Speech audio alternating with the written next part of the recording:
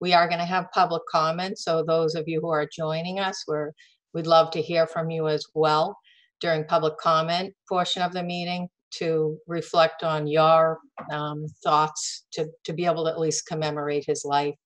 And before we have the moment of silence, I just want to let the members speak because I know it's on their hearts and minds. So Mr. O'Leary. Thank you, Madam Chair. Uh, So please bear with me here. Um, So uh, my friend and colleague, Bob Mauceri, has, uh, has passed away. Uh, It is a loss to his family, his extended family, his professional colleagues, and this community that he called home and served so well. Uh, My relationship with Bob only goes back 47 years. Uh, As a young and newly elected official at the ripe old age of 19, and Bob as a young 30-something, already well-respected, serving on the Finance Committee, I was the, I was his appointing authority. Uh, Two very different people. Uh, The man I met then was the man I collaborated and served with uh, over all these years. As I embarked on my political career, Bob was embarking on his volunteerism in public service as a public public servant. As I had political ambition, he didn't have a political bone in his body. Uh, way back then, as I was loud and boisterous and attention seeking, he was tolerant, respectful, level headed, analytical, soft smoke, soft spoken, and wicked smart. Wicked smart guy. This guy was just wired differently. He appreciated the engineering and fast cars, sailing the Caribbean and off the Cape Ann, and he was even a scuba diver. As I got to know more of Bob, my respect and appreciation only grew. I saw him serve on the Finance Committee, School Committee, Hillview Commission, and the Board of Selectmen. Not to mention all the various study committees and subcommittees, such as the Old High School Rebuilding Committee, the J.T. Berry Reuse Committee, Community Impact Team, Water and Wastewater Subcommittees, and one of the first sewer study committees way back in 1972. He did all this while traveling the world for work, engaging in his kids' activities, uh, being a loving husband, devoted son, doting and proud father and grandfather. I had the privilege, honor, and truly the benefit of serving and collaborating directly with Bob for 27 of those 47 years, 12 while serving on the Hillview Commission and 15 on the Board of Selectmen. Bob Mauceri was a true professional, respected, decent, kind, empathetic. He was the best of listeners. He heard every word. He couldn't help himself. He had to listen. He had to analyze. He had to offer solutions. As I said before, this guy was just wired differently. Bob took pride in all that he did and those that he associated with. He always smiled with pride when things got, got accomplished. But the biggest smiles, and the only times I heard him boast, was not anything to do with the town, but to do with his family. He loved to talk about his kids and their accomplishments, his grandchildren, all that they were undertaking, and his childhood sweetheart, Angela, and what they had accomplished together. In the next planned trip to Seattle or the next vacation, where his family would all be getting together. The previous mentioned traits um, made Bob unmatched in leadership qualities. He was focused. He was able to keep us focused. He had a strong moral compass, which kept kept us headed in the right direction and back on track when we strayed or derailed at times. For Bob, there are only two requirements for meeting and addressing the challenges and responsibilities, and those, and those were to do the right things the right way. Bob never sought recognition or credit, but never shied away from responsibility. He earned the respect from all that served with him. He chaired every board, every commission, and committee he served on.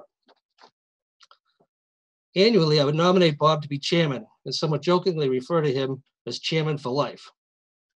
In all honesty, we were all better off with Bob as, as chair. Bob's contributions are unmatched. We are a far better community because of Bob's tireless efforts and contributions. And to Angela, his children and grandchildren, we share in your loss and appreciate your sharing Bob with us. Thank you. Thank you, Mr. O'Leary. That was beautifully said. Um, Mr. Wallner, Um, I only became, uh, I only, uh, learned to become aware of Bob over the last ten years. And he, you know, everything Steve said is true. I've always been amazed at his, his ability to be rational. He pursued issues, but he never owned them to the point where it got him upset personally. He focused on the facts. He listened to people. He gave many, many opportunities. I watched him do meetings and he, you know, he always, but he also knew when to cut it off and get moving on. So I just, I thought he was a really balanced individual. So I, I don't want to drag it out. Steve did a great job. I'll just say there's someone like Bob Mauceri. You're never going to see somebody like him again in our town. The same way we'll never see Tom Brady again in our town. I mean, just the, the level of his dedication and service is just beyond what any of us will ever probably ever see again. So, you know, my hat, you know, I'm, I'm looking forward to the memorial service because it feels like we haven't gotten to that level next. And so when that happens, you know, it should be a really good outpouring. But just a wonderful person. Gave me time when we were transitioning. You know, I think I took over his seat officially, and he uh, reminded me of that. And um, you know, I, I was honored to. I'll never fill his shoes, and I'll I, I, if I get ten percent of what he did, I'll consider it a huge success. That's all I have to say. Thank you. thank you, Mr. Wallner.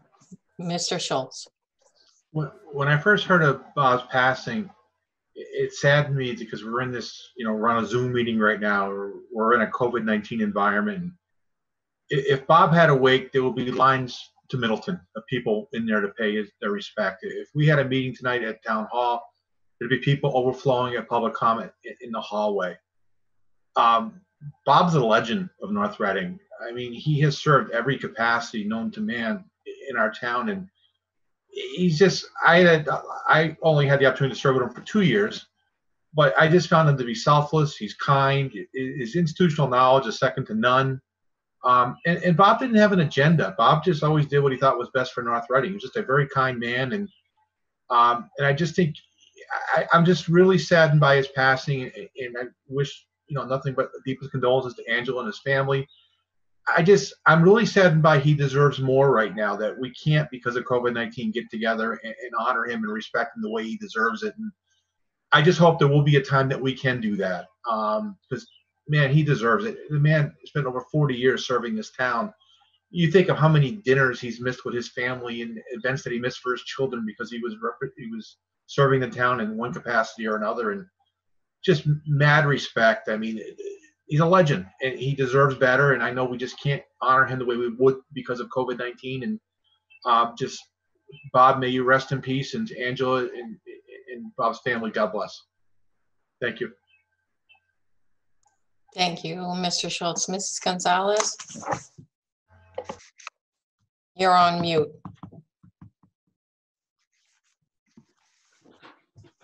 Um, Andy touched on how I was feeling also. I, I, I knew Bob outside of, on- on another committee that I'm on eh, that he belonged to. And so I, I knew him from there. Um, and got to know Angela and just, just beautiful people. And I feel the same way that it's just such a shame that we can't honor him the way that we would have. Um, and I hope that that day will come soon that we'll be able to do that because he was absolutely outstanding and what like rich said when when we took these seats i mean he got on the phone with me he you know anytime you want to ask me anything talk to me any advice I mean, he was right there and and willing to help however he could he was just just a great man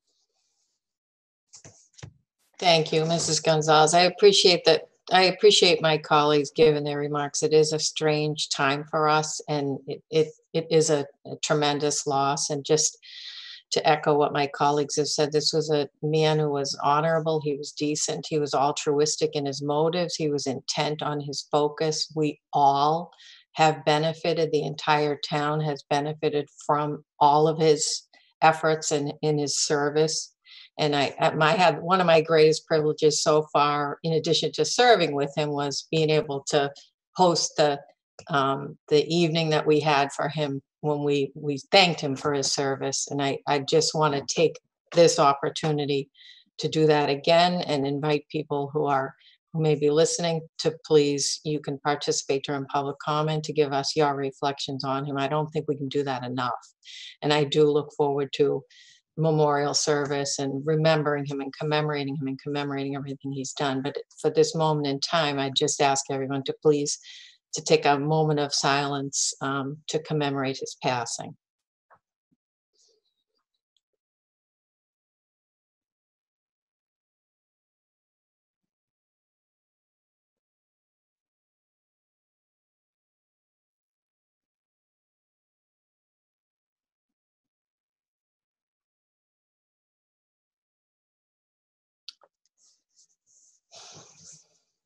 May he rest in peace and thank you everyone for your comments. And we are to the next um, order of business, which is board member reports. If anyone has anything that they, they have, um, am I skipping anything? We are at board member reports. Okay. So we're at board member reports. Mr. O'Leary? You're on mute. Uh, Again, there'll be an update later on, I, I imagine, um, from the town administrator in relation to the um, water, wastewater, and how we're progressing with that, which is terrific as far as the chlorination plant and all the rest of the temporary uh, chlorination plant. And I think we're meeting again shortly, I forget what day, um, to help that, get that uh, finalized and moving forward. So we're, we're looking for the board to take some action this evening on, on one of the matters, which is uh, of importance, and that's great. Uh, the only other thing is that, uh, if we went under uh, board reports, but um, I would just like the board to go on record at some sort to um, to support um, mail-in balloting, you know, as soon as possible. And I, I know the uh, Secretary of State is um, proposing some legislation, there's proposed legislation uh, from other members of uh, the House and the Senate. But I think it's important that we send a message to our legislative delegation that it's important to ensure that everybody has an opportunity uh, to participate, you know, in the electoral process as soon as possible and as easily as possible. And, you know, whatever the, that solution is going to be, um, that we go on record at least um, supporting an alternative mechanism to make it easier for people to vote. Because this isn't going to go away. This whole virus thing isn't going to go away, and people are going to be nervous and uh, will want to participate, and they should have it uh, available to them by mailing it in rather than just the absentee voting process, but uh, something a little bit easier. So. uh, Mr. O'Leary, are you in favor of us sending a letter as a board with us signing off on a letter? Yeah, signing off on a letter in support of, um, you know, some sort of um, alternative expanded voting mechanism other than just in person or absentee. Okay, So- so let me just do this while you brought that topic up and see if we have the unanimous consent of the membership to do so. Um, Mr. Wallner, are you in agreement with that? Total agreement. You consent with that, Mr. Schultz? Uh, for town elections, I would agree, not for national elections. I I think think- Mr. I O- think- Mr. O'Leary's only referring to the town, the upcoming town election. No, no, no, no, I'm, no, I'm referring, I'm ref- I'm referring to, to all elections this year going forward, not just the town election. Oh, I'm sorry, okay. No, I- I'm, a- no, no, I'm talking about, uh, I'm talking about the, the primary if possible in September and and the November election. Absolutely. All right, so Mr. Schultz, you're not in agreement with that total, in total. Yeah, for town elections, I would agree. All right. Yeah. Mrs. Gonzalez? Same, I, I, I agree with town elections, but I, I would not be supporting, um, national.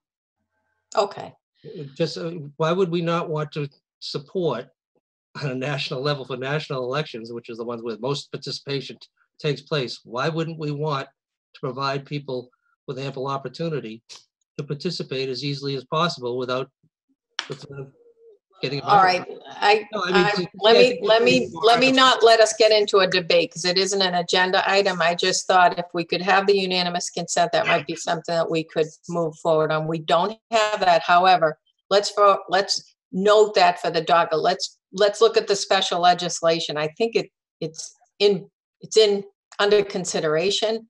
It may go through several variations before it happens. I would request Um, but put on our next agenda then as an agenda Yes. item. Let's do that so that we can really just iron out those issues and then debate it then. Um, So we can, we'll we can have it on- then. so we can Yeah. have it on agenda item, Madam Chair, next meeting? Yes. Excellent, thank you. Yes, Mr. O'Leary, I didn't mean to interrupt you, but I was doing that thinking we might have the unanimous consent of the membership. But as we all know, we don't decide these things ahead of time. So it was a great point to bring up. We'll put it on the agenda. And there, is there anything else you wanted to add? I'm all set, All thank you. Thank you. Okay, Mr. Wallner.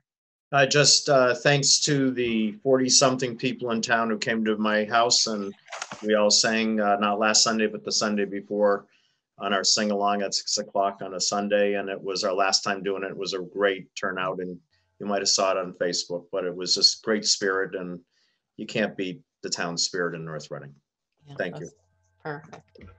All right. Um, Mr. Schultz. Uh, you have, uh, two things, one sad, one happy. Today, I, I, I'm, I heard from our church that Joe Sadlow passed away today. A lot of you folks in town know Joe. He was in his nineties. He was a World War II vet who served on the USS Fremont. Um, I believe when he got out of the service, he was stricken with polio. He was confined to a, a scooter, but still in his 80s made it to his World War II reunions every single year. Just a real salt of the earth, great guy. Um, his daughter Christina McCormick, um, Joe lived over on Park Street. Just a great guy, and he passed away due to the COVID virus, and just was announced today. So my prayers are with him and his family. On a happier note, um, on Saturday, former board member Sean Delaney uh, basically raffled off the shaving of his head for the North Reading Food Pantry. And he ended up shaving his head on Facebook Live at six o'clock on Saturday night. And the town st- stepped up and raised approximately $2,400 for the food pantry for Sean shaving his head. So, and he looks good. I think he's, I can see he's watching us right now. Um, he looks good. He looks a little bit like Prisco, but um, he's right there. But it was a great event, and he raised again. The people really stepped up, and they really the food pantry. It's tough because donations are down because of the COVID virus, but Sean single-handedly raised twenty four hundred dollars, and it was awesome. I just want to thank him for his efforts. Okay, Mrs. Gonzalez, are you willing to shave your head for the cause? I'm only, I'm. only I'll just donate the money. I'm only kidding. I'm only kidding.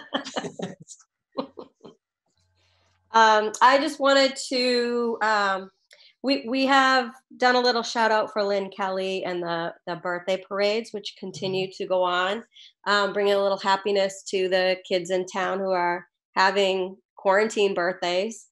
Um, but I'm, I'm not sure that Descolis has gotten any props. And I just wanted to throw out there that, that Descolis, um, does send a small cheese pizza, um, with no charge to all these kids um, for their birthdays. So I just wanted to acknowledge that. Um, and really, just from my heart, I, I want to say that there's so many people who really are struggling with this.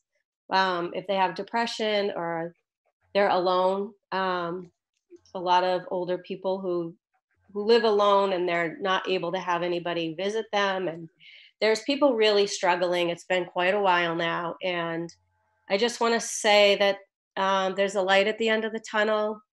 We're getting there, we're closer, and just hang in there. And I'd like to just say, everybody, just be kind. Be kind to each other. Um, we're in it together. Let's hang in there. We're almost there, and we'll be back, hopefully, to some kind of a normal soon. That's all. Thank, thank you, Mrs. Gonzalez. And I just want to, I want to continue to thank our finance people, our, our town employees, our, our town administrator, our finance director, our, all of the people that are working around the clock, still keeping government operations going. We have a financial planning team meeting that's meeting now on a weekly basis instead of a monthly basis. Capital improvements planning team has been meeting more often with uh, Don Kelleher at the helm. So we thank everybody for continuing these. Finance committee has been meeting with Abby Hurlbut. Everybody that's been having this laser-like focus on getting us through this, working out the issues with the budget because we know it's going to be a financial hit. But to thank these people, these, the, all of these people have other commitments and A lot of them have children at home that are not in school right now, that are younger and requiring uh, their focus as well. And that's a lot to be juggling. So we thank you for all of your continued efforts and appreciate the volunteers who are stepping up to try to carry us through this period of time. And again, to just say how sorry we are for the such a tremendous loss of uh, Mr. Mauceri, and what a grateful community that we are to have had him because of everything he's done for us. And to thank Mrs. Mauceri, Angela Mauceri, her kids and her grandkids, because we know that level of service doesn't happen without the support of your family at home. And um, we want to thank you for supporting him so that he could do all these things for the town that we're so grateful for. And so with that said, we're gonna move on to the next order of business, which is public comment. So do we have anybody that would like to join us for public comment? I don't see any hands, Mr. Gilleberto, do you? No? I do not. Okay. All right, folks, so we are to our next order of business, which is um, the minutes. April fifteenth, twenty twenty, regular and executive session minutes. Madam Chair, I move to approve the April 15, 2020 regular session minutes as written. Second, I have a motion by Mrs. Gonzalez and a second by Mr. O'Leary. Any further comment?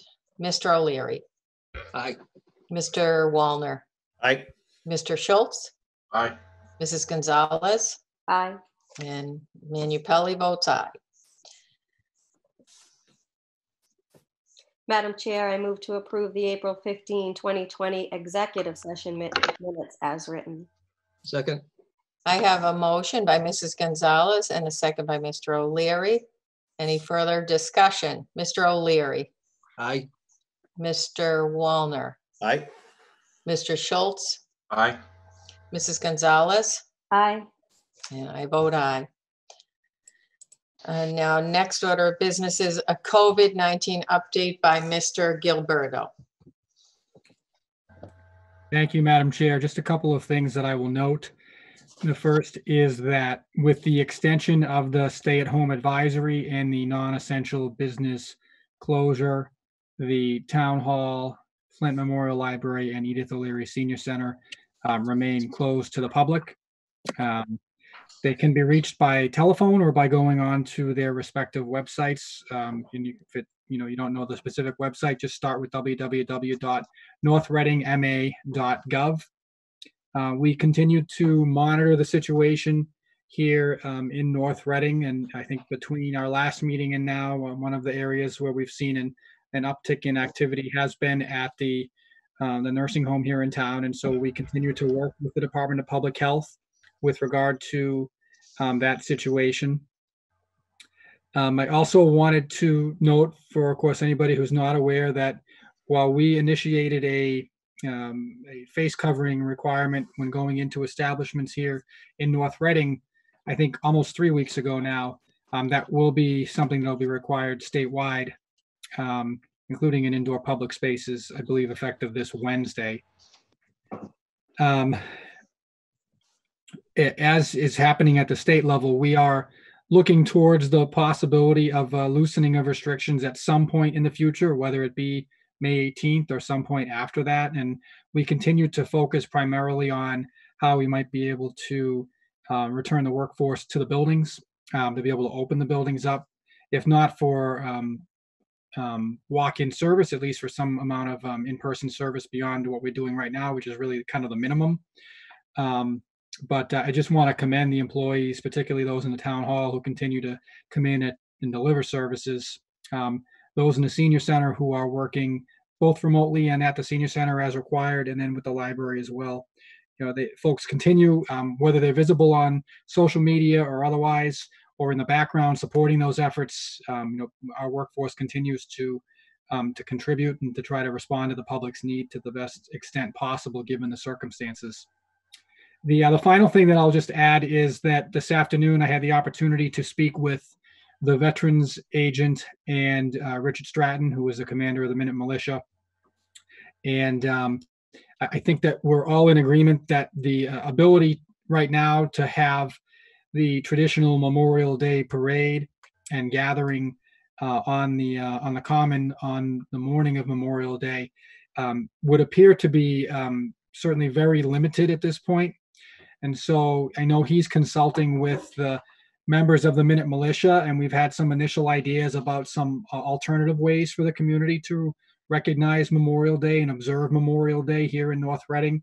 And I expect that there will be more information about that forthcoming in the next week or so. Uh, but I, I do want to thank Susan and and and Rich Strat- Richard Stratton for their efforts really over the past few days to sort of look at what might be the best practice and you know factor that in and um, you know we, we look forward to being able to um, propose you know what will be um, different ways but ways nonetheless for us to observe Memorial Day here in town um, and uh, more to come on that. Thank you, Madam Chair. All right, does it, do the members have any questions of Mr. Gilleberto? Mr. O'Leary? Good. Mr. Wallner? Schultz? No, Mrs. Gonzalez? No. I just have one. At the Board of Health meeting the other day, which primarily discussed the issues with the nursing home, there were um, attendants who said they hadn't spoken to their uh, family members for, for, for at least a week, I think one woman said. And I'm wondering, I know there was going to be some follow-up by the public safety director and then our public health nurse on making sure they were able to speak, speak to their family members there. Do you have any sense of what happened with that? Was there an I- I update on that? I do, yes. Uh, so there was follow up that next morning with um, the nursing home and with the Department of Public Health um, because those parties are together on a conference call every day um, about the nursing home. And um, I did speak with uh, a resident who spoke up during the conversation, and I am informed that there was a fairly swift response to um, provide updates and, uh, and get the family in touch with the uh, the patient. So it, it would appear that there was a very favorable response very quickly thereafter. Okay, that's good. All right, thank you, Mr. Gilleberto. Mr. O'Leary, Just a quick question to the town administrator in relation to uh, uh, protective equipment for our public safety and employees. How are we set for inventory and protocol and all the rest? So we spoke this morning on our weekly COVID-19 meeting, and uh, I have been assured that the uh, public safety departments do have um, sufficient personal protective equipment um, for, uh, for the foreseeable future.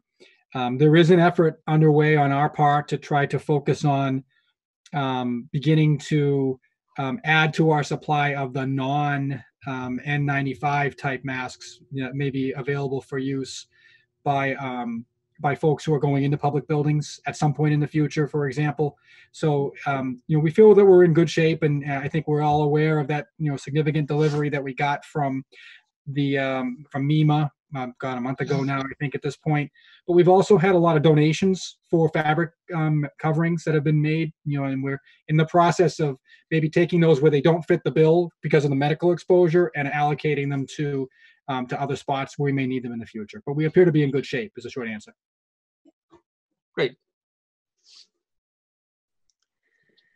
Okay, all set? All right, so we're moving on to the next order of business, which is to approve the F, I mean, before we get there, review the updated FY 2021 revenue and and plan. Mr. Did I lose you? Did Nope, you Madam lose Chair, me? here. Can everybody hear me okay? Yes. So the finance director is here this evening. Um, Liz, thank you very much for joining us. Um, we do have a copy of the plan that was in your packet, and uh, we're just going to review the highlights here this evening and give the board an update as to where we stand. Um, so for the board's edification, two weeks ago, the financial planning committee met and we came to the you know approach that we were going to you know really dig in and try to research look at the trends from the past and look at the forecast and try to come up with a revenue plan from which uh, municipal and school operations could work from And um, we, we got to that point on Thursday and to the point where we want to, you know, present it here. Um, you know, there are variables in it and Liz will re- re- respond to that, but um, this is sort of the document that we're going to be working to reconcile with at this point in time. Liz? Yes. Good evening, everybody. Um, I'm going to share my screen now to show the revenue plan that the board has in their meeting packet. And this will be um, a quick review as only a few changes have been made since the last time we reviewed this.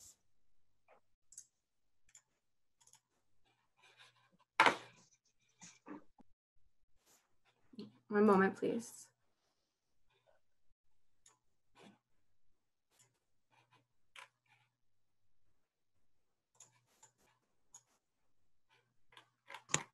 Can everybody see my screen?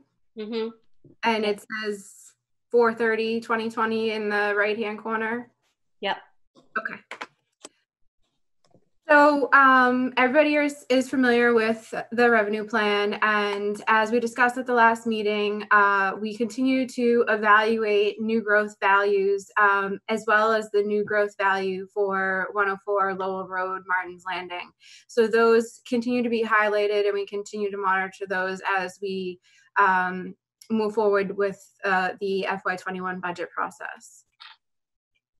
Moving down to local aid or cherry sheet items, uh, you can see that we have uh, chosen to reduce Chapter 70 to the FY uh, 20 budget um, amount. And the reason for this is we did some research back into 2008, 2009, and 10 um, when there were uh, nine C cuts at the state level and reductions in revenue.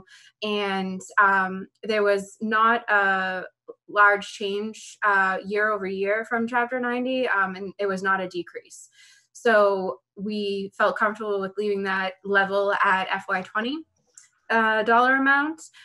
Unrestricted general government aid, we have reduced uh, by 5%, which is about 94,000 over um, FY20's uh, budgeted number. And those were the only changes uh, that we made since the last revenue plan update.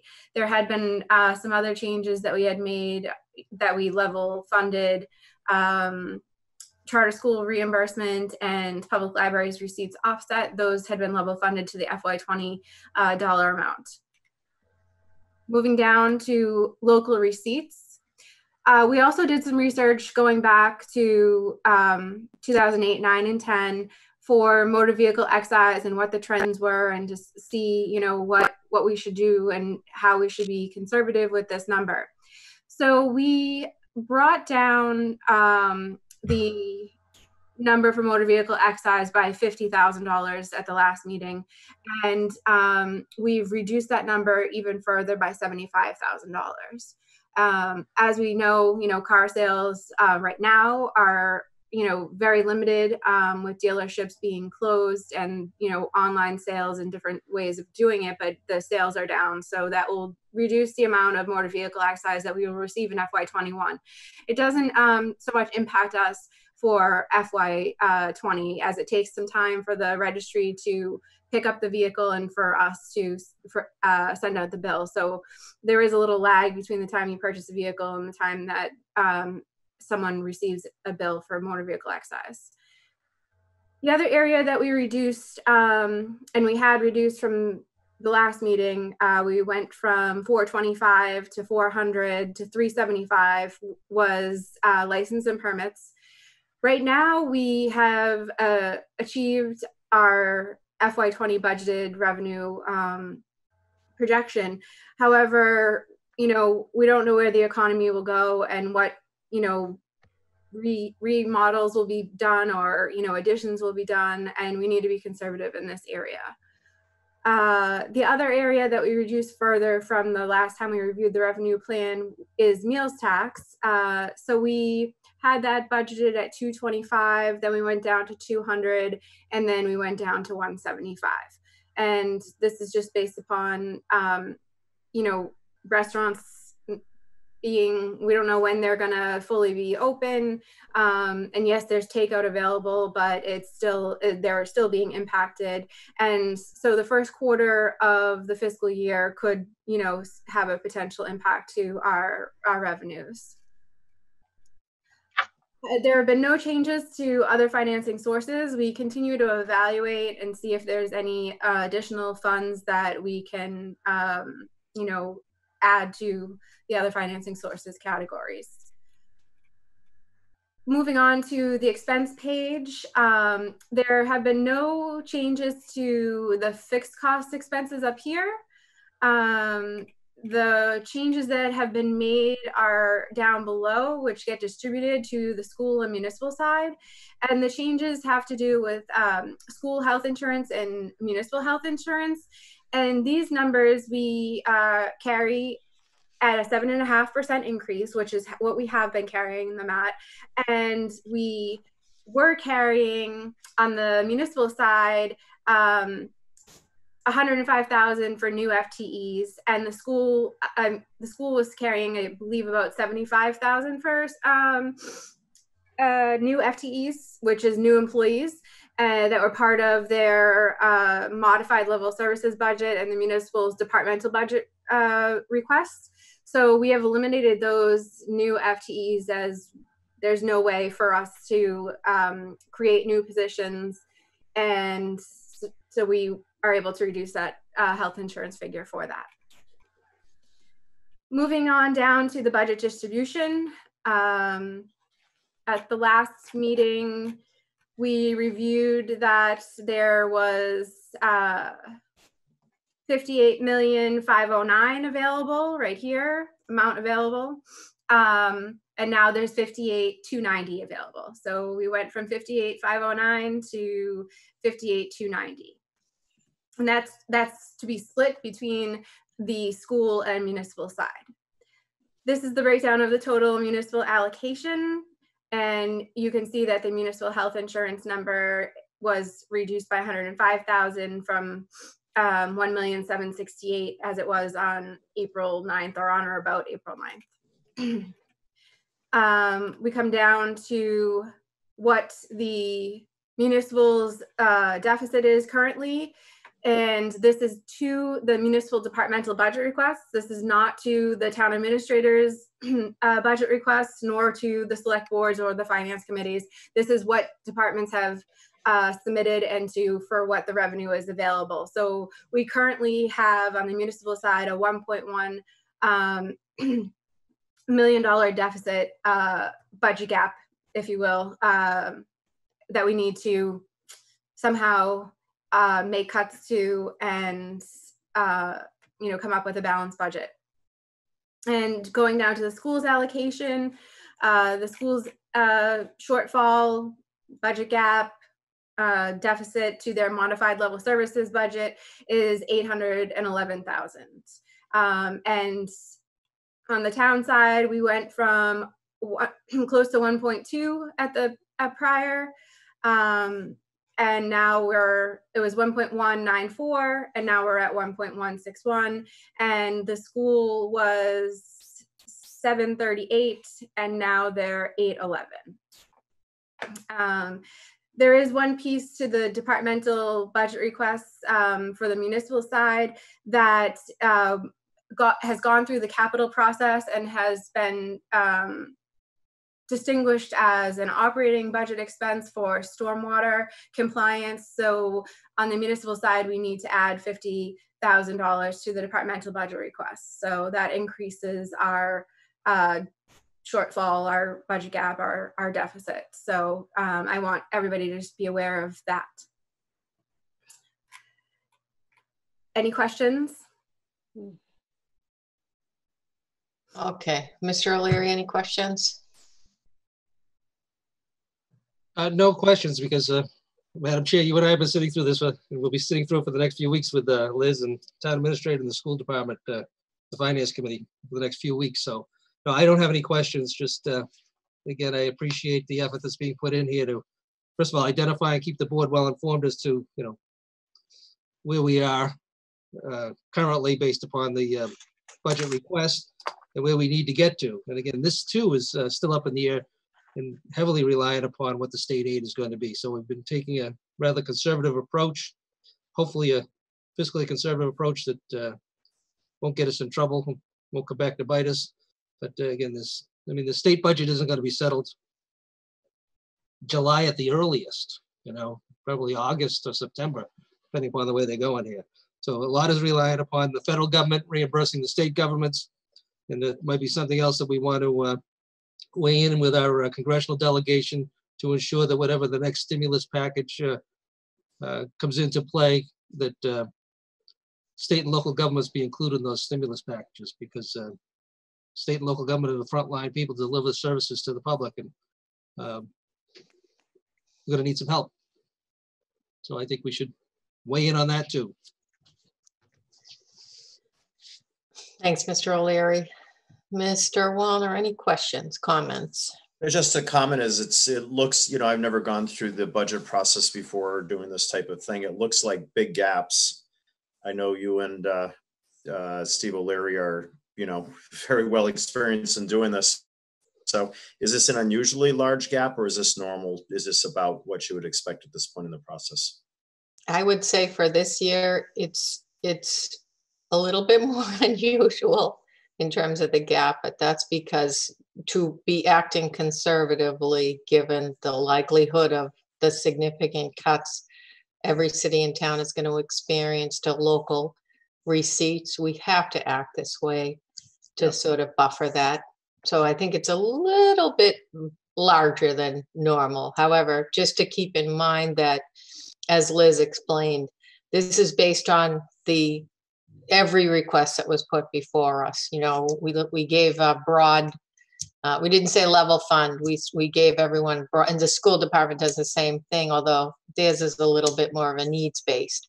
But we we are too needs based. But we said if in a perfect world, what would you need for your operation? So Yeah. we we won't be able to afford that. Yeah. This year. Okay, thank you. I appreciate it. Not trying to put you on the spot, just uh, doing observation. No, that's that. No, this is the time to talk about it. So And it appreciate. isn't going to what be both doing. easy for us.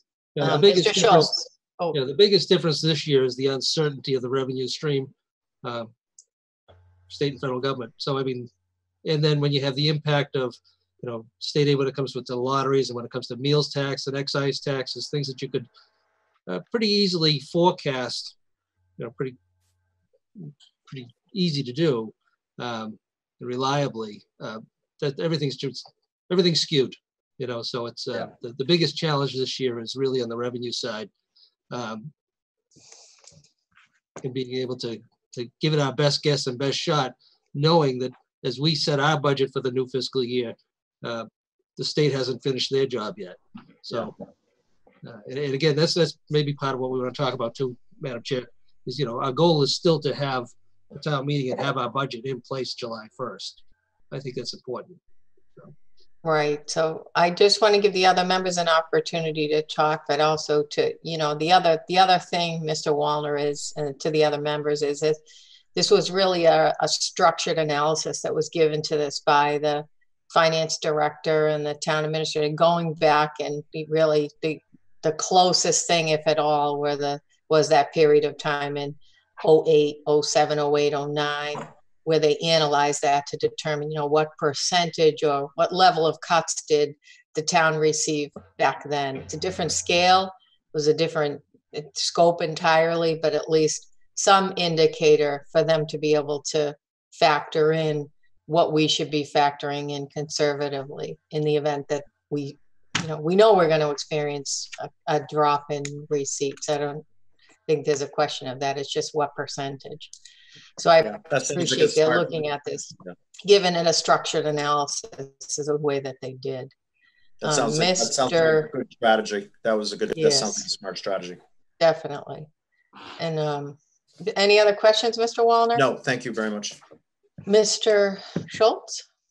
Uh, to Madam Finance Director, I, I give you credit. You're trying to come up with numbers now. It's almost like, you know, you, we're, we're asking you to make lemonade, but not giving you any lemons here. I mean, it's, really hard for you to project these, these revenue streams when it's just so much uncertainty out there. And I think next year's budget is going to be even more difficult than this year's when it comes to we see the full extent of state aid and uh, you know and that, type of thing. My question to uh, both Ms. Rourke and Mr. Gilleberto, I know we have rainy day funds, and I think if there ever was a time to use a rainy day fund, it's raining pretty hard out right now on this budget. Is there anything available we could use to help um, try to patch cobble this year together from a rainy day fund standpoint? We do have a, uh, um, a general stabilization fund that we have worked hard to put, um, transfer money into over the years, including, I think, a half a million dollars a year and a half or so ago that we put aside. Um, I think that we're, you know, concerned about going, um, to that because think we're not quite sure of the duration that we need to rely on it but uh, it does certainly remain, you know, to be something. It, it continues to be something that's available to us, um, you know, like, moving forward if need be. Thank you, Madam Is Chair, that also, oh, is that Mr. Schultz? Yes. Okay. Madam Chair, just, just to Andy's question and point, I mean, at the financial planning team meeting, we, we've been discussing, you know, what do we do and what's the duration? And I know Liz has participated in some conference calls with the state officials as to what you can anticipate. But there's uh, no doubt in anybody's mind right now that, you know, this coming year is going to be a challenge. But it appears as though the following fiscal year, or the end of the next fiscal year and the following fiscal year could even be, pose an even greater challenge. So before we go and start tapping our rainy day funds or our stabilization funds right now to try and close this gap, we should, uh, you know, take a more cautious approach and conservative approach and try and live within our means at this particular point, in knowing that you know, we're in a fortunate position here in North Reading where we at least have two town meetings, a June and a, an October town meeting to adjust the budgets accordingly. So um, I think the, the general consensus to this point, I think, has been to uh, to not necessarily look to the stabilization funds yet, because we think the worst is yet to come. And, and maybe Liz can elaborate a little bit more as far as some of her conversations and what she didn't get out of the, what kind of information she didn't get. Let, let me just. Turn You're breaking up, Kate. Yeah. uh, hand opportunity to ask um, Liz some Liz questions about this um, as we're reviewing these figures. So, I mean, we can definitely opine as to where this and that should come from. But remember, this is really you know what they're reviewing this constantly, and they really haven't gone back here to kind of um, go through department requests to TA recommendation yet. We're not even at that step yet. So let, let's give Mrs. Gonzalez an opportunity to ask questions if she's got them. Go ahead, Mrs. Gonzalez. Um, not really questions. I, I was gonna ask about uh, rainy day fund also, but absolutely agree with Mr. O'Leary that only if we absolutely have to. Um, because I agree that I think it's gonna just get harder. Um, and I just have such confidence in this financial team. Um, and we'll just do what we, best we can do. Okay. Mrs., I know Mrs. Herbert, you have your hand up and I know it, it's probably related to the use of rainy day funds. Can I just, I just want to ask Liz a couple of questions on this.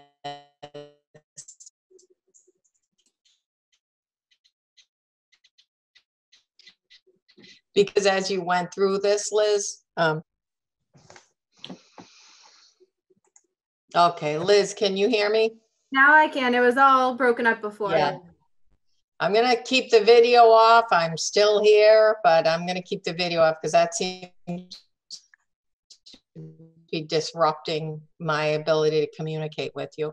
Um, so when we, when you go through this plan, I think you said you backed out FTEs from the municipal side?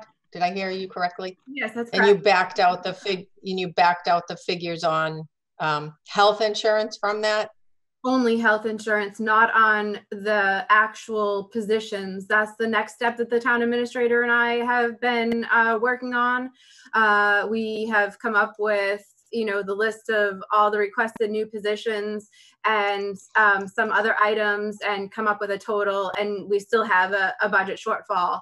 And I just want to remind everybody that typically by this point, we have our budget hearing um, and we have a balanced budget. So it's very unnerving for myself and the town administrator that we are at this point and do not have a balanced budget. So just getting back to those questions. So you, you backed out the, the requested full-time employees? No, so we we have only um, backed out of of this figure the health insurance for the FTEs. We did that during the last financial planning team meeting, like on, off the cuff. Um, and the same with the school. Their number is just the backed out number of new FTEs. It doesn't um, include the salary figure for those. So Okay. um, you know, that we would go through that exercise of what the uh, salary figure would be. And the town administrator and myself have um, have done that. Um, and you know, it's In other words, your bottom line deficit here doesn't include the backing out of the salaries yet. correct, right? So that Then- they, they total about five hundred thousand. So All right, so that's gonna reduce it exactly. to a, even though it's a nerve wracking amount, it'll reduce it somewhat significantly. But my second question is, you, did you reduce, we have vacancy, vacant positions that haven't been filled yet. And so doesn't the school. And are, are you, do you have a calculation of those and then pulling that out of the, the salary and pulling that out of the health insurance for municipal and school? So we have done that for the newly created FY20 um, vacant positions. So the ones that have not been filled yet that were created for FY20. Um, we have not done that for vacant positions that are longstanding vacant positions, you know, that may have just been vacated or, you know, um, were it, we, we were in the process of hiring for those positions. So we- we, for example, the town administrator's grant writer, project manager position that is still vacant and was funded with FY20's budget, um, that figure was backed out. So at this point, a vacant position like that, um, we have backed that out because it was counted as one of the new FTEs as well. Um, as it was, as it's not filled. And the health insurance number is based on where we stand, you know, um, on a three month average and so that's that's why that's um, added back in for FY20 because it's yet to be filled. Um, but the other vacant positions, there there's one in DPW that just completed it mid-April. Um, that hasn't been backed out because that's a DPW uh, position. It's not a newly created position, and it's been vacant. It just became vacant. Um, so the town administrator and I discussed today looking at vacant positions that have been longstanding, um, you know, and do we have a freeze on them and what, what we do with that. So that plays a role into it as well. Um, there's other areas that are requests by departments that are ads, um, and they're not just level funds. So we are examining those as well. Um, you know, and even after all of that examination, uh, we still have um, a pretty substantial, you know, shortfall. So we, you know, are going to have to even drill down even further um, into the level funded uh, budgets. Okay, okay. Can we, um, Mrs. Hurlbut, I know you, I can see you had your hand up. Next. Yeah, I just wanted to make a comment about the rainy day fund. Uh, because that's being talked about not just on the Board of Selectmen, but in various other places as well. The stabilization fund should not be spent on reoccurring expenses for all the obvious reasons. You know, for example, if next year's worse than this year and you use the stabilization fund to underwrite, I don't know, salaries, fire trucks, whatever you want. Well, fire truck's not reoccurring. What do you do next year? Okay, you're in an even worse position. The idea of the stabilization fund was certainly for a major emergency, and there's no question that COVID is a major emergency.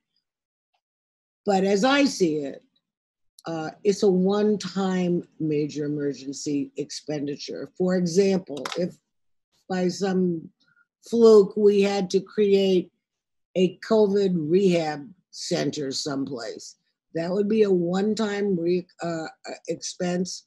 It would not be reoccurring. And we wouldn't have to fund next year.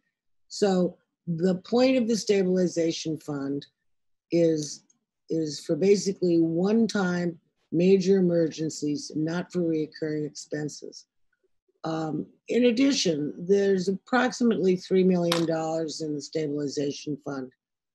Um, and the finance committee has been in the process of trying to um, upgrade the uh, amount that we would like to see held. Uh, because that the 5% of net revenue has been the amount for the stabilization fund for a number of years. And, you know, a gallon of paint costs a whole lot more now, so to speak. Uh, it really is not a suitable amount. Uh, but if you look at the deficits now and you look at what's in the stabilization fund, if you were to try and, for example, cover those deficits, you would you would spend almost 70% of what we have for emergency use. So uh, hopefully um, the conversation about the rainy day fund will go away for the time being because it just is very scary because I don't think for one instant we're going to be in a better position for the next several years. Sorry. Okay. No, that, that's fine. Thank you for your input. I appreciate it. I was going to comment on that, but I just wanted to give everybody the chance to ask Ms. Rourke their questions. Ms. Rourke, I saw your hand up there. Did you have your hand up? Yes. Um, Oh. Madam Chair, I just wanted to mention that, you know, the town administrator, myself, um, you know, yourself and Mr. O'Leary and the rest of the financial planning team, we continue to um, go back to the drawing board and, you know, look for ways to balance both the municipal and school budgets. So I don't want to be alarming. Um, you know, we we will be able to meet this gap one way or another. Um, and you know we have extended town meeting to the end of June um, in order to allow for you know give time for social distancing and you know allow for the public to participate. And so we you know I guess appreciate the extra time that we have this year in order to be able to um, drill down even further into this budget. Okay, thank you. Thank you, Ms. Rourke. Is- Are there any other questions? Michael, I can't, Mr. Gilleberto, I can't see any hands raised. Anyone else have hands raised? All set? Okay. Now that we've reviewed that glum forecast and realize all the work ahead of us, we'll just move on to the next order of business, which is the approval of the FY 2021 employee health insurance. Mr. Gilleberto.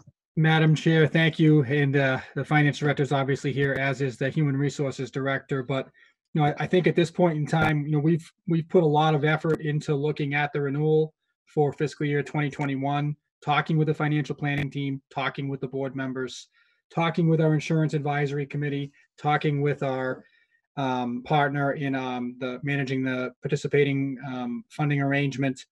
And uh, I, I think that at this point, you know, our recommendation is the renewal that's before the board, which is a seven percent premium increase when you include both the Blue Cross plan and the um, PFA combined together. That will allow us to continue to uh, accrue um, a balance over the uh, course of the the year. Um, where you know the target is that between that three and four hundred thousand dollar range when we get to the end of next fiscal year. Know, we've talked about you know an option to try to reduce the increase and maybe reduce that buffer being accrued over the course of the year.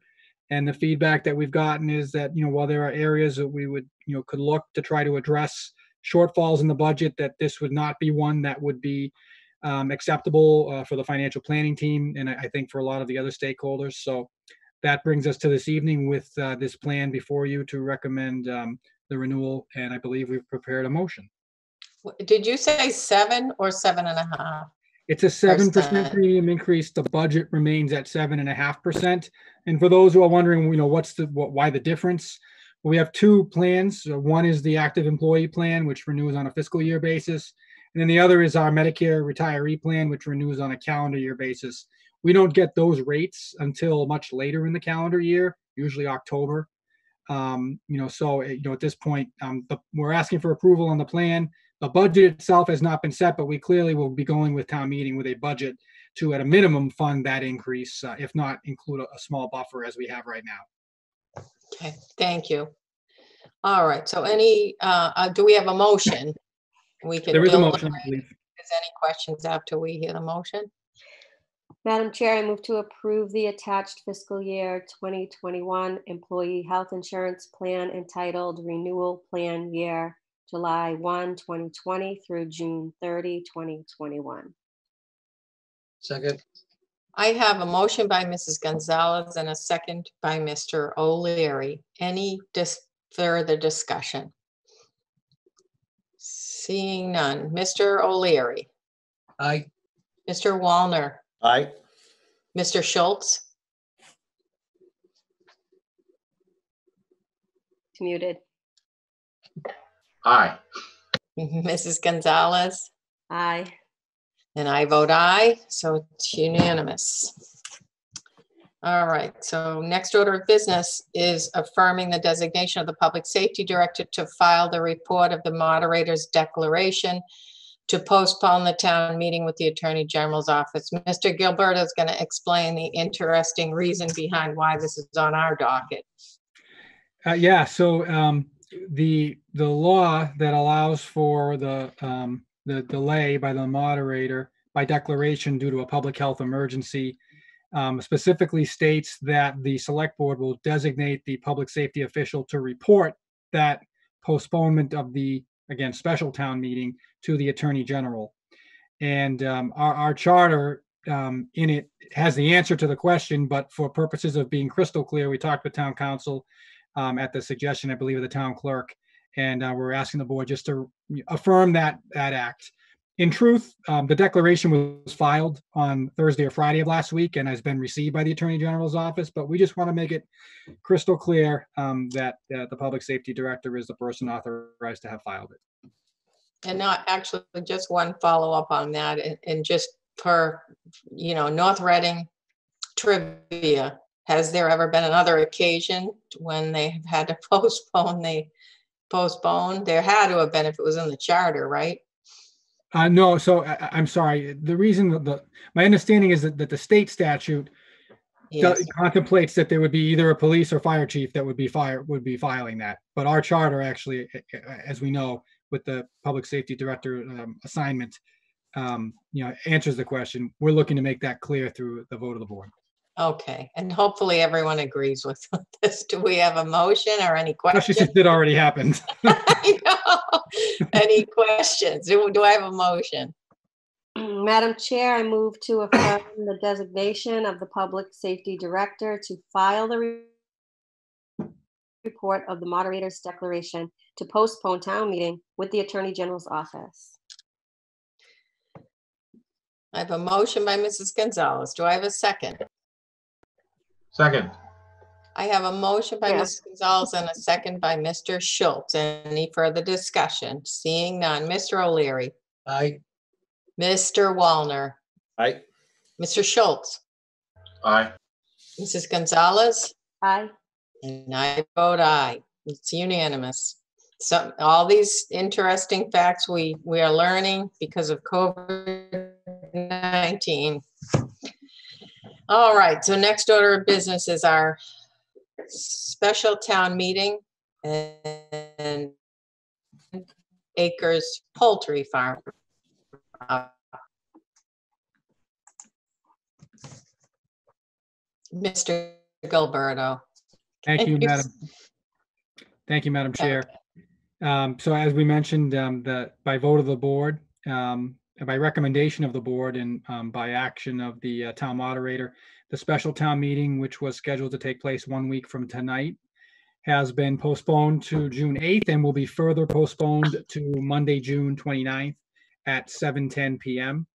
Um, The, um, you know, for the community, the board's efforts to um, evaluate the acquisition of these properties uh, is continuing and um, that we expect that there will be, you know, additional information available for the public um, in advance of the town meeting uh, to provide an opportunity for um, both the public and the boards and committees that may wish to make recommendations to town meeting um, to do so. So more to come with regard to that. That really was the intent of the update at this point on my part, Madam Chair. All right. Any question, members have any questions? All set. Okay. Next order of business is to review, review the June, June town meeting timeline, which I think you just did, but if you want to reiterate. Sure. So that was for the special town meeting. This is uh, for the June, not 29th annual town meeting. The uh, Capital Improvement Planning Committee will make its recommendations to the Select Board at your next meeting on May 18th. And uh, I do apologize, but I was uh, intent to update the board when we were discussing the revenue plan. Uh, As uh, members, uh, the the chair and um, Mr. Schultz know, um, the Capital Improvement Planning Committee, under the leadership of Mr. Kelleher, has formulated a very limited capital investment program for the June town meeting um, with um, a recommendation of only a handful of items uh, that will be presented to you at the May 18th meeting. And um, with the thinking that, you know, we could evaluate or reevaluate capital investments um, at the October town meeting when that occurs. But you'll hear the details of that at the May 18th or next select board meeting. We've identified a tentative budget hearing date of Monday, June 1st.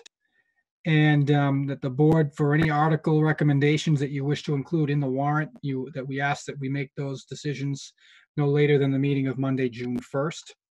Um, And the warrant will be signed that evening, and then uh, there'll be a deadline for any other boards or committees to have their recommendations printed in the written warrant that will be mailed to folks at home um, by June 4th at 9 AM. Um, And then we'll submit it to the printer the next day. Residents will get it about two weeks later, either the Saturday or the Monday, two weeks before the June 29th meeting.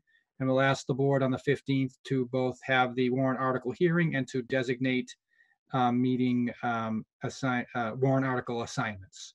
So I, I want to thank Karen for first having made the, the larger spreadsheet that I think you've all seen in various forms over the past two years and for consolidating this down into something much shorter, just for the high points. So thank you, Karen, for that.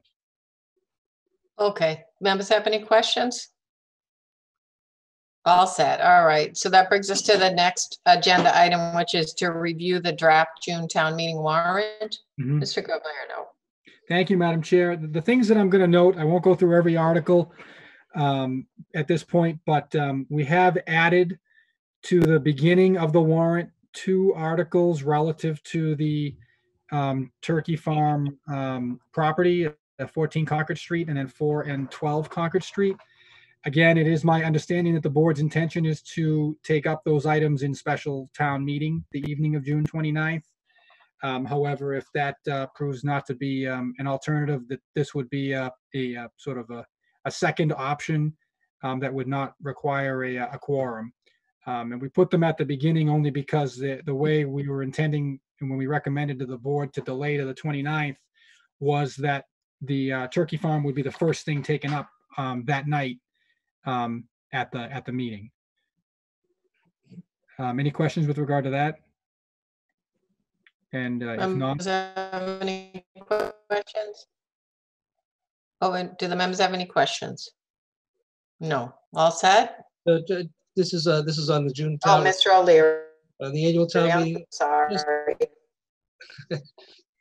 Uh, just in relation to the, um, town counsel budget in specifically the forty B yes. ongoing situation, is it our intention to, should we, not our intention, should we have a separate warrant article available rather than having to go from fiscal year to fiscal year to carry the money forward? Would it be wiser to just set up a separate account? Uh, So I- believe that it, that it would be. Um, My impression from the initial conversation was the board that maybe we wanted to look at what that number will be, and I'm expecting to get that information in the next couple of days. Um, So, um, but I, I think that we may want to consider adding a warrant article. It would be later in the warrant, putting it on there, probably near where the special counsel article is. Um, But, uh, you know, that, to me, I think that would be, I think that would be preferable rather than having it within the annual operating budget. That's just my, my personal opinion. Well, yeah, no, just the way that it's looking now, I mean, it's gonna be time-wise, timeline-wise, could be over the course of a couple, couple more fiscal years. By the time we get to any type of conclusion on um, what action needs to be taken and by whom. Mhm. Um, So, I mean, we'll have somewhat of a surplus, I guess, in that portion of our budget at the end of the current fiscal year. Correct? It could, yes. So I expect that we will, yes. Right, so that therefore, because the delays down now at the state level with the safe harbor. So I, I think it would just be wise to have money available that can bridge the gap of fiscal years that we can add to at appropriate times during the October and June town meetings if necessary, so. Okay, that's all. So that's the only thing I would suggest including in the warrant. I, I Okay, agree- I agree. I, again, I don't know what the other members feel, but I just think it would be more prudent. And we'll have more information about the, the dollar value, uh, which we can, you know, present when we have the article um, on the 18th. Excuse me. yeah, we do have some idea of that because we're approving the legal bills on a regular basis. So it's not, it's not like it's not, it's not going to be a surprising figure, given what we've spent so far. Mhm. Anybody have any other questions? No, do- Madam Chair, just regard, with regard to the warrant, if it's okay, I'm gonna skip way ahead. um, Down to um, Articles uh, 26, 27, 28, 29, and 30, um, which relate to the efforts on the part of the school department and the school committee to um, make lighting and uh, solar um, improvements or additions to the uh, school facilities or grounds. Um, And again, I think just, you know, more for the record, the board has signed off on my uh, participating uh, from a logistical standpoint on these conversations, um, despite my having an ownership interest uh, in property that's uh, nearby. Um, But uh, we've been having conversations and there is a request for proposals that is um, out on the street from the school committee. And I, I do want to recognize the hard work of the school committee and particularly Michael Conley to try to pull this together despite everything else that's going on in the background. Um, he's continued to keep his eye on the ball on this. Um, we've had some conversations with Reading Municipal Light Department, and they do have a, a, a companion or similar program that they are looking to offer, although it does not appear that it is um, moving forward on the timeline that the school committee might be interested in. That may not be working as a, on a- as aggressive a timeline. Um, but nonetheless, uh, where I believe that the school department is at is they're going to take some feedback from Reading Municipal Light on that uh, RFP and maybe make some adjustments to reflect the unique nature of uh, us being within a municipal light department um, service area. And um, we'll see what what what these yield for proposals, and um, the school committee will be able to make a determination as to what direction it wants to move in. Um, and obviously, if it's not satisfied with whatever comes forward, um, they uh, have the option not to move in any direction. Um, but uh, regardless, you know, the effort does require town meeting approval, both for the building and for the financial mechanisms. And um, these articles have all been assembled with the consult of town counsel to allow the school committee to do so. Um, if there are any adjustments to that, we'll certainly incorporate them in a future draft of the warrant prior to the board being um, asked to sign on June 1st. okay. Th- Any questions? Members all set? Okay. Is that, does that conclude your, the review for the warrant? Does, yes. All right, so let's move on to the next order of business, which is to- the license for the water main construction at 303 Main Street, and we have a vote to approve that. That's correct. Do you want Madam to give Chair. a little, Sure. So th- this is a two-pronged approach, and I, I do apologize. There is a modified agenda that was posted this afternoon um, to also add a vote on the order of taking for the uh, permanent easement at this address. So this would be a license for temporary access for the construction and installation of water mains, which we are looking to do while um, the non-essential uh, business closure is in effect um, or not too far after it expires. So having the license gives us the authority to do that. Um, and we've worked that out with uh, the, um, the owner of the property. Um, but we've also um, have, uh, and it's in a separate document in the meeting folder this evening because it was added very late. But we actually have the order of taking, uh, which the board, uh, if it's so comfortable, um, would be, uh, is in a position to potentially approve. But that approval would be conditional to us receiving the uh, signed uh, waiver of damages, which we know the business terms and we've discussed them previously, Um, we just haven't had the opportunity to get the signed uh, waiver from all of the parties that are involved. So if the board is comfortable with proceeding with the order of taking, it certainly could. But we've developed this license, if the board's not quite ready yet, because it's obviously come in very fast, being added this evening. The license will allow us to at least get the water main work going, we think, on a much faster timeline. Um, and again, this is for the water chlorination facility located behind the uh, plaza that includes um, Dos Lobos and um, I can't think of the fitness center's name. Um, I, I apologize, but there's a fitness center in there as well at 303 Main Street. Yeah, I, IPR I- or I- Yeah, IPF and Yeah. IPF. Yes, yeah. Okay, do the members have any questions? I think the motion is for the license. Yeah, correct. The motion is on the license, but do the members have any question regarding that? No. Okay, Mr. Early, you all set? Mrs. Gonzalez, you're all set? mhm. You all set? Uh, So You want the motion? Do I- do we have a Madam- motion? I move to approve the license for water main construction at 303 Main Street and to authorize the town administrator to sign the license. Second, I have a motion. Mrs. Gonzalez and a second by Mr. O'Leary. A motion by Mrs. Gonzalez and a second by Mr. O'Leary. Any further discussion? None. Mr. O'Leary, aye. Mr. Wallner, I, Mr. Schultz, Aye. Mrs. Gonzalez, Aye. and I vote aye. Unanimous. Next order of business is to approve the legal bills.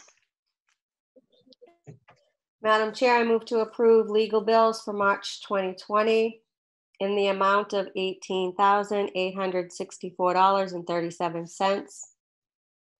As follows, Kopelman and Paige, $12,351.37, Kopelman and Paige, $3,373.50, 20 Elm Street 40B project, $760.50,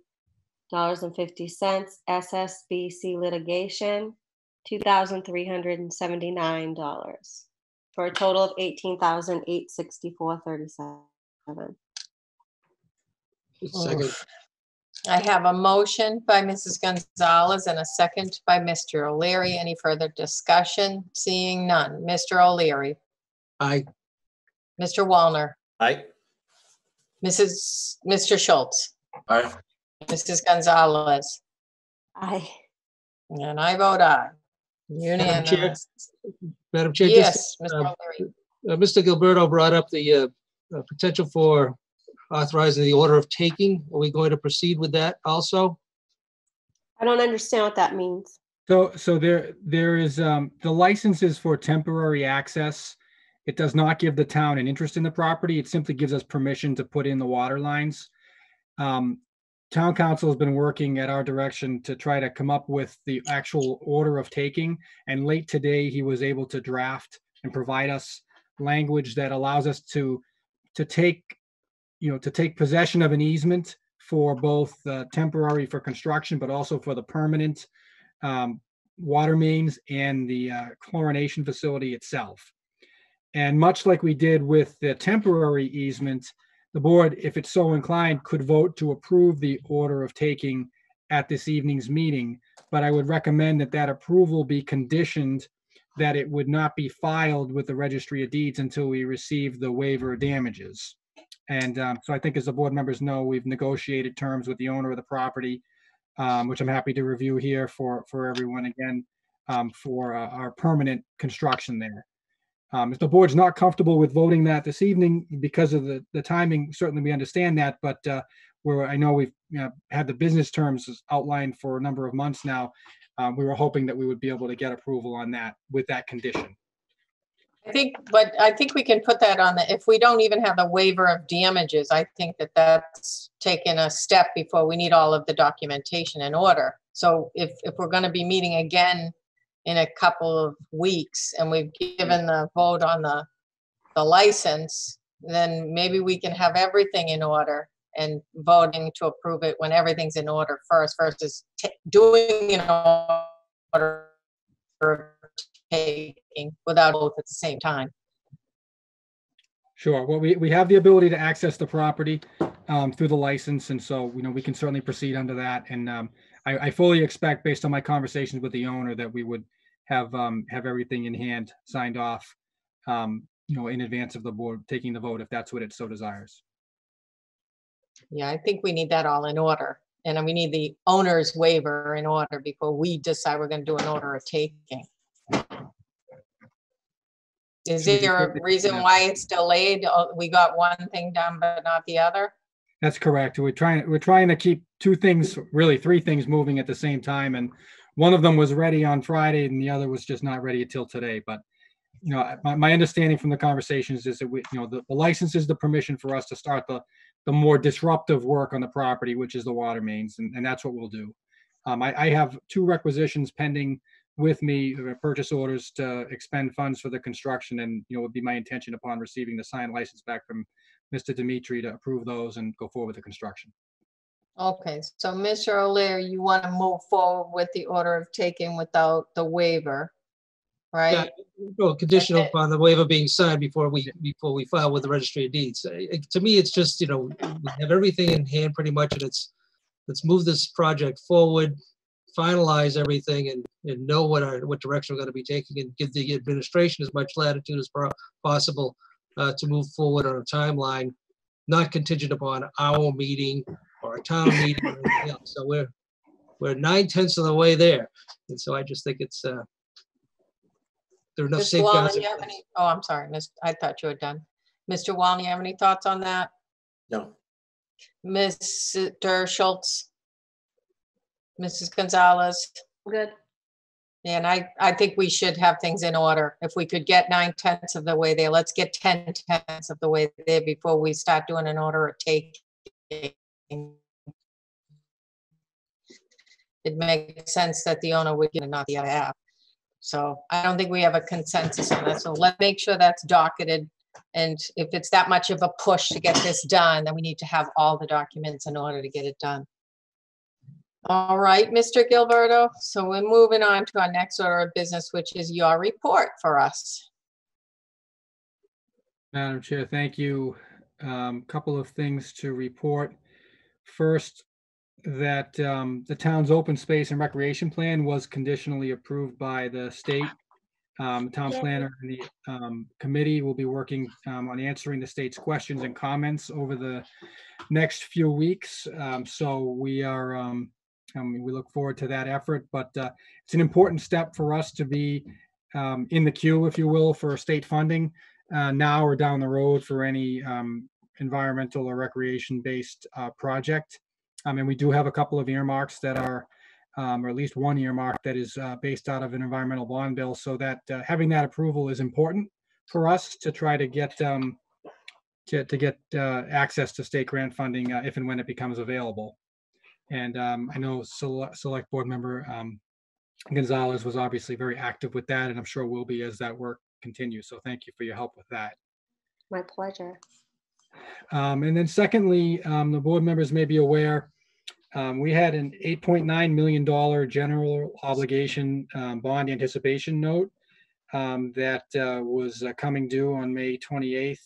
And, um, we had to, uh, go for a rating call with Moody's Investor Service to, um, in order to continue that borrowing for a year. Um, we're obviously, we're going into that bond rating call at a very, uh, unique time, um, for the economy and at a point in time where, as we've said, I believe at these meetings, that the um, municipal borrowing market is, um, is not very favorable right now. Um, But I am pleased to report that Moody's has assigned uh, an MIG one rating uh, to our general obligation bands and um, has also maintained our AA two general obligation rating um, that the town has for its um, general fund um, bond issuances. So um, that's certainly encouraging news in, in a, in a, in a very difficult time for the economy.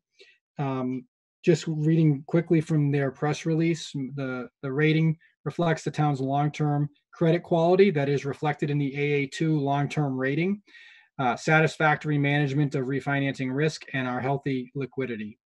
Um, so, um, you know, that certainly was encouraging uh, to hear. And um, I think um, we had a very candid conversation in which um, the finance director and Mr. O'Leary participated wi- with uh, Moody's, and um, I think we impressed upon them um, all the steps that we're trying to take to um, maintain control of our financial destiny. And I I think that it's made a good in, a good impression despite all the uncertainty. And that's uh, new new news as of this afternoon. So um, if you didn't, none of you were aware of that before, I apologize, but just found that out.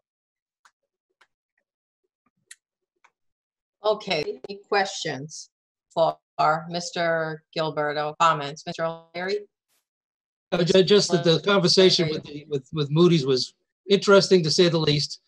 And uh, it was interesting to hear their concerns in relation to, you know, the tenuous situation everybody's in, local governments are in uh, going forward. But it was also heartening to hear that they uh, appreciated the efforts that we put in and the stability that we have thus far. Uh, While they still issued some caution to us, uh, it's uh, heartening to hear that they were willing to at least allow us to sustain the, the rating that we have, which is good, because I don't think that's going to be the case for everybody. So it was, it was an interesting conversation. Uh, I enjoyed it. and, uh, you know, but it is something that we have to take notice of because it, it can change rapidly. Obviously, you know, we have to go to, uh, for bonding in the future. They're going to take a look at us again, but I think uh, we presented a very good, stable picture for at least the time being. So I think it's very good. And thank you also, I sure thank you for participating in that because I am still working and Mr. O'Leary is filling in everywhere that he can if there are things that I can't make it to. So I appreciate that. And any, how about any further discussion question, Mr. Wallner?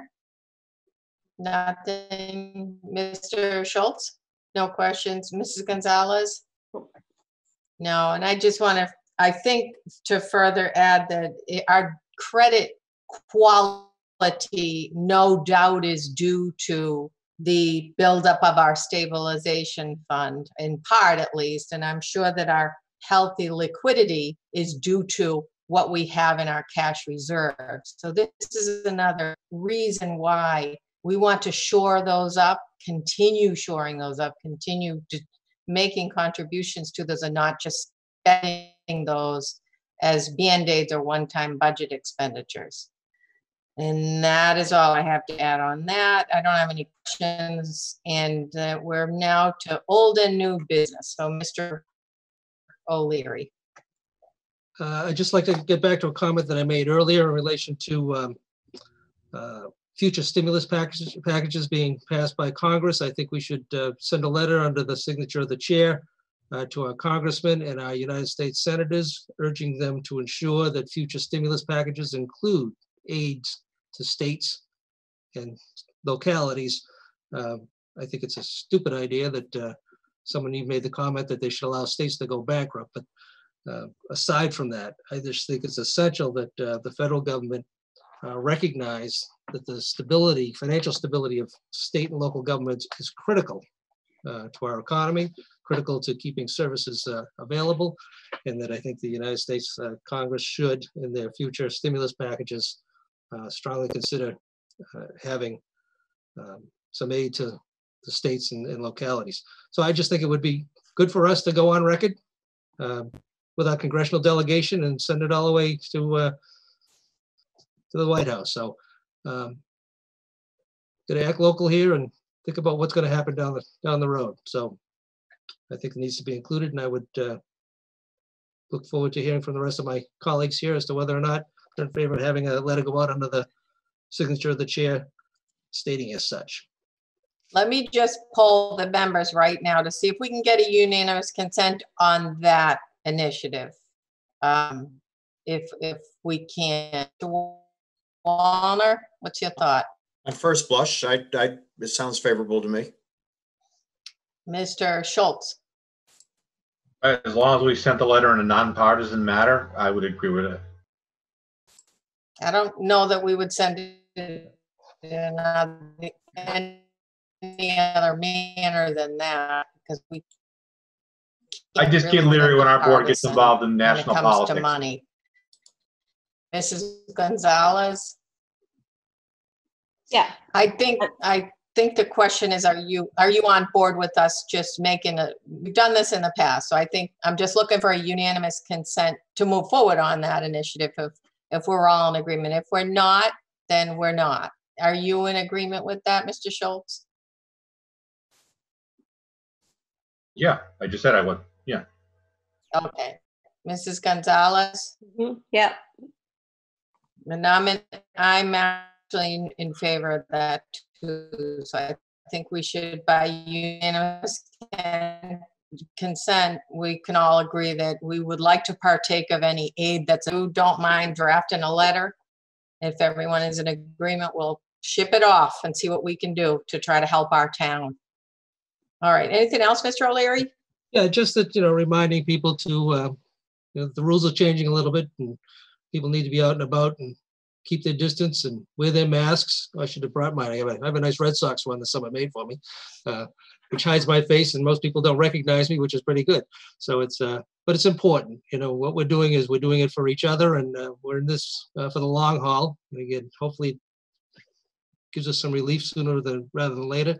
But as, as this drags on, and I don't know about the rest of the members here, but it's, uh, it's coming closer and closer home to roost. I mean, more and more people that I know have relatives and, and friends and close associates and um, who are being impacted by this virus. Uh, two in my neighborhood, there's, uh, you know, friends and acquaintances who have lost their parents already and uh, siblings.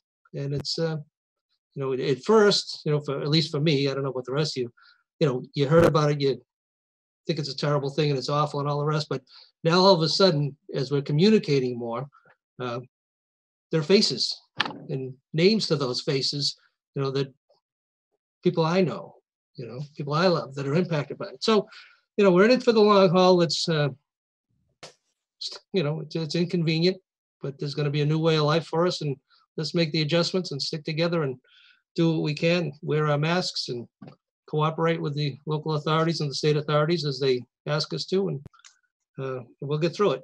And uh, again, as far as technology goes, I forgot to mention what I mentioned about Bob Mauceri. If it wasn't for Bob Mauceri, we probably wouldn't have all that we have right now. I mean, he was so uh, uh, involved with technology and insistent upon the town being able to invest early on and wisely in a technology that we are able and capable to do what we're enjoying here today. So uh, just another kudo to Bob. And um, again, we are going to miss him, and he was a good friend, and uh, God bless him. That's all. Thank you. Okay. Thank you, Mr. O'Leary. Mr. Wallner? Uh, I have Any- nothing, to re- no, nothing to add. Okay, Mr. Schultz? Any older new business? Yeah, just real quick, I, I want to thank the town. I know it's been really hard to be cooped up inside. I know the kids especially, uh, and the seniors that are, are not really having a senior year. And I just want to thank everybody for cooperating. Echo a little bit what Mr. O'Leary just said as far as wearing a mask, trying to do the right things. Uh, You know, we had two really nice days uh, this weekend, but and I was over at IRP a couple times with a dog, and people were walking around and social distancing doing their thing. Everybody was kind of playing by the rules, and it, it's just really encouraging to see. I just thank. I know it's hard. I just thank everybody for cooperating with the town. I know the public safety and the health director and the board of health are doing everything they can to try to keep us safe. And I just want to thank people for, you know, cooperating with us. It goes a long way, and I thank them. Thank you, Mr. Schultz. Mrs. Gonzalez? yep, just like I said earlier, you know, hang in there, everybody. We're, we're getting to the finish line hopefully soon.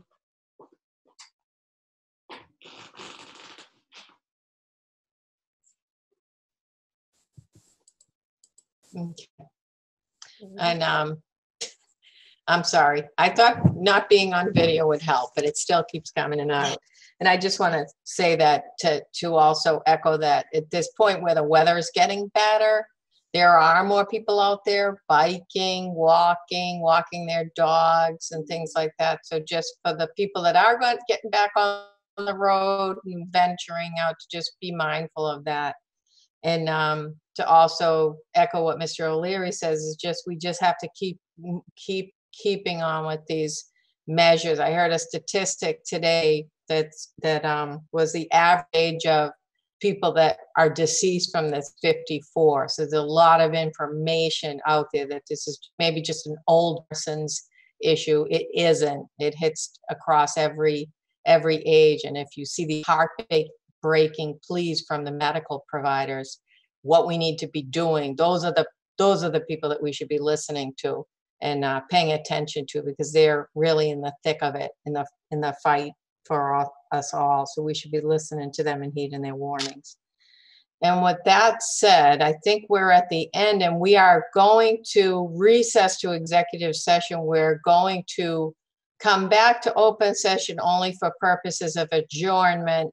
And what we need is a motion for um, going into executive session under uh, executive session subsection three and subsection six.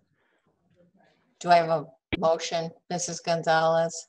Um, so Madam Chair, I move to enter back into executive session for the purpose of uh, uh, uh, real estate for 12 and 14 Concord Street. And was there something else we were going to discuss?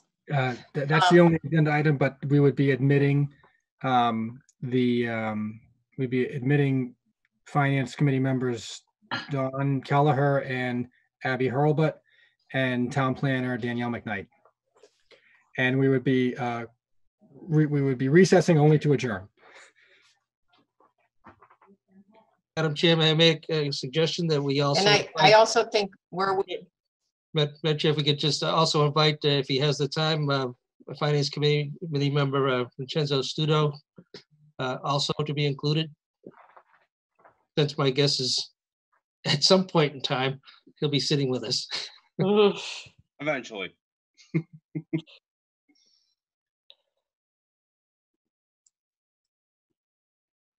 Did we lose her? No, I, uh, are we? Can you hear me? Not very well. Oh, boy. Can you hear me? Yeah. Oh, my goodness, this is, so uh, we are going in under both subsections, right? So that we can conclude discussion under subsection three and under subsection six. Was that what the motion was? No, it was only for six. I didn't realize that you wanted to go for three as well. I, I mu- I must have missed that. I think we should just, you know, enter for, for both purposes to conclude our Okay. discussions on that. Um, and I think we have, I think we're gonna be joined already by two of the members of the finance committee, right? I don't know, you sound like Charlie Brown's teacher.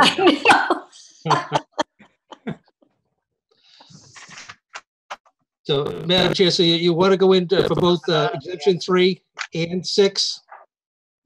Because we Right. didn't finish. I don't think we were, Even if we, if we don't without conclude, we getting can go into back the in anyway. detail, we Right. weren't, we weren't quite done, so. right, okay, that's fine. And so three and six, and then also to uh, include uh, Finance Committee members, uh, Abby Hurlbut, Don Kelleher, Mr. Studo, Mr. Studo. yeah, and then uh, And is Danielle Liz gonna be in there? Danielle McKnight, no? Danielle McKnight. Danielle, yes, Liz, no. And, and what about, uh, who's the other gentleman we had there? Was it Paul? We, we, we lost him at nine o'clock. He was no longer available af- after nine. Okay, All right, so it's a motion by Mrs. Gonzalez. Do I have a second? second, Madam- And a second by Mr. O'Leary. Any discussion? No discussion. Mr. O'Leary, aye, Mr. Wallner, All right, Mr. Schultz, Aye.